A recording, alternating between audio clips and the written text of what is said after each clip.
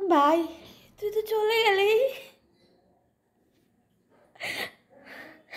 তোর মা যে কত কষ্ট করছে, বাবার যে কি হচ্ছে। আজকে ওয়েস্ট বেঙ্গল ইউটিউবার গ্রুপ থেকে কত জিনিস তোর বাড়িতে দিয়ে গেছে। তুই ইউটিউব চলাকালীনও খাওয়া নিয়ে দেখাতি, খাওয়া কত কষ্ট করতি। আজকে তোর বাড়িতে দেখ পাঁচ, ছ মাসের জিনিস। তোর মা যখন ক্যামেরার সামনে আসে, তখন জোর করে আসার চেষ্টা করে। পারে না, তোর ফটোটা তোর দিতে লাগে, তোর মার সামনে এনে দিল।